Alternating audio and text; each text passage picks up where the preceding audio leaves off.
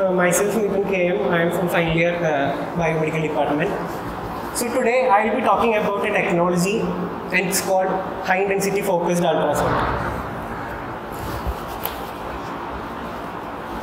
So before that, uh, let's go through some numbers. Uh, while taking the uh, numbers of thyroid cancer and the people are affected uh, from this thyroid cancer, it's about uh, in 2010 it was estimated that around 22,000 people were diagnosed with this uh, thyroid cancer. Among that, uh, 13,000 were men and another uh, 40,000 women were diagnosed. So it uh, clearly suggests that three out of four are women, and around two cases were reported to children or teenagers. So, what is this thyroid cancer? It just uh, thyroid cancer is just a lump in the thyroid region. 80% of this cancer is uh, mainly comprised of this papillary thyroid cancer and it is the most exterior lump that can be uh, seen in our thyroid. The other 20% are the internal thyroid cancer.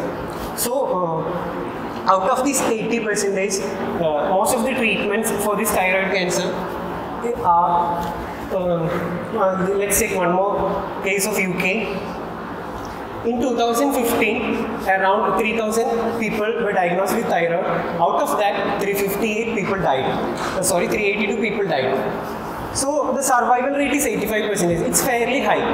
Yes, 85% is high, but the loss of 50% of people is also high, considering it is a life. So, how did these 85 people survive? They went through tre- treatments these treatments are mainly uh, radio, radioactive treatments, uh, radiations, and they remove this by operations. So these all are uh, very hectic process, and it's very difficult to conduct an operation for removing removing a lump at a thyroid.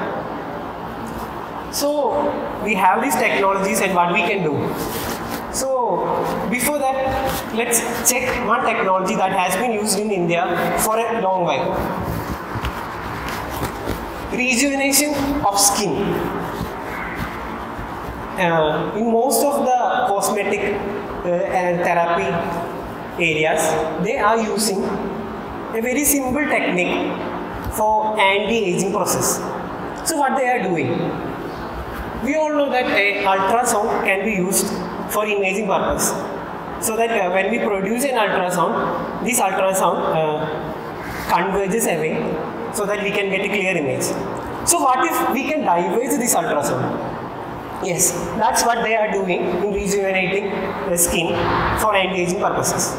So while uh, converging this ultrasound, we are creating a hypothermia situation nearly from 42 degree to 50 degree Celsius. So what happens uh, is that it is converged to a point.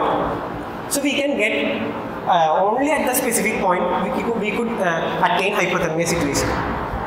So not only for rejuvenating uh, facial uh, skin and all, we can use this effectively. And uh, in the upper countries, they have been using it quite efficiently. So in our uh, case, that's thyroid cancer. Yes, we can also use this HIFU technique for treating cancer. So uh, for uh, converging this thyroid, a transducer is used.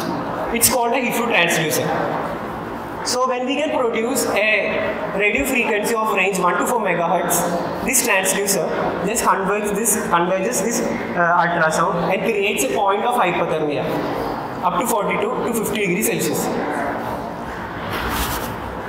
So as I said, in the upper countries, they have successfully treated prostate cancer using this HIFU technology. And the success rate was 99%.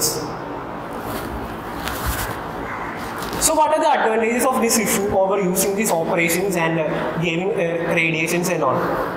We are strictly using sound waves. Radiations is not, no, radiations are not seen in any of these cases using this HIFU treatment. And once the HIFU treatment is completed, the patient can leave the hospital within one or two hours without having this tumor or cancer. Thank you.